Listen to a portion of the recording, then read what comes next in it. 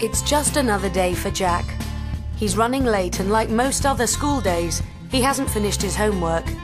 In fact, he hasn't even started it. As with most of us, Jack's day will be full of routine.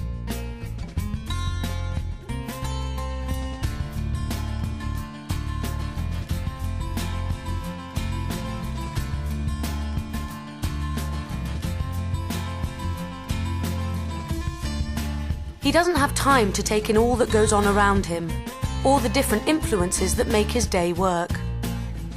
If he did, he'd find that there is one, often unseen industry that touches upon his life more than any other quarrying.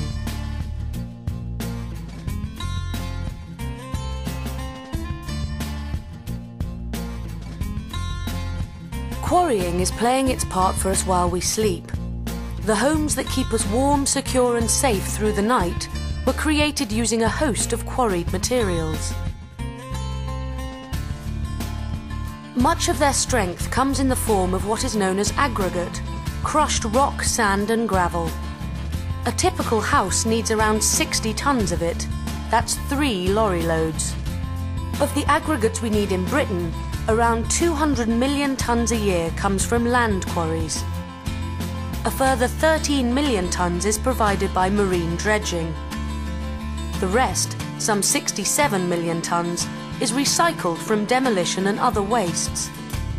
We are better than any other European country at producing recycled aggregates. Much of the aggregate we need for our homes goes into the foundations in the form of concrete made from aggregate and cement.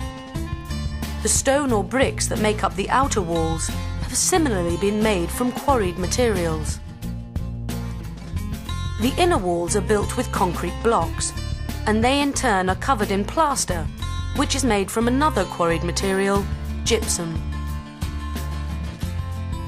Then there's the mortar that bonds the bricks, stones and blocks together. It's made using sand with cement, which is manufactured from limestone and clay. Up on the roof, of course, you have tiles made from clay, concrete or slate. But the influence of the quarrying industry doesn't stop there. When we turn on our taps, the ready supply of pure water has been filtered through special sands, and it comes to us through concrete pipes. We even have stone in our toothpaste. The gentle abrasive that cleans your teeth without damaging them is made mostly from limestone. Our heat and light is drawn from power stations, which use limestone to clean gases before they are emitted safely to the atmosphere. The influence of rock is as strong as ever in the kitchen. The food we eat may well have been grown in fields that have been enriched with lime. Special industrial sands also have a significant role to play here. Silica in the sand is a main ingredient in ceramics and in virtually every type of glass, from windows to tableware. We even have quarrying to thank for light bulbs and for the screens in our tellies. Look outside, and all the hard landscaping for the garden has come from quarries. Under the bonnet of your car, you have an engine created by pouring molten metal into moulds made using silica sand. And then there's the road. If you could see beneath the surface, you would find layers of crushed rock. The stone in the topmost layer is bound together with bitumen and is designed not just for strength, but for skid resistance and drainage. It plays a big part in keeping us safe. As we move on through our day, we come into contact with quarry products at just about every turn.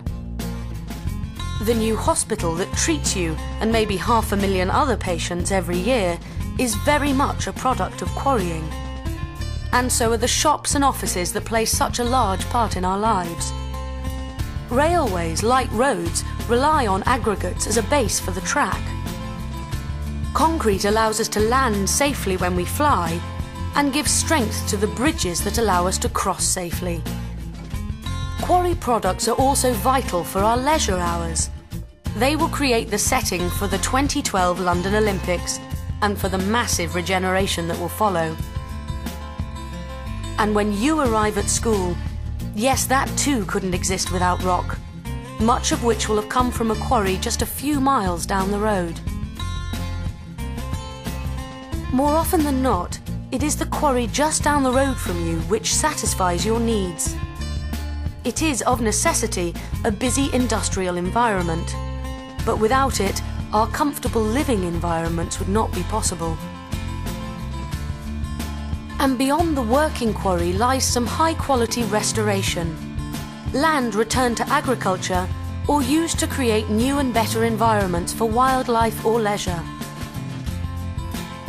But it's the stone from our quarries that makes the biggest impact on us. It provides us with secure places to work, rest and play, and allows us to move safely between them.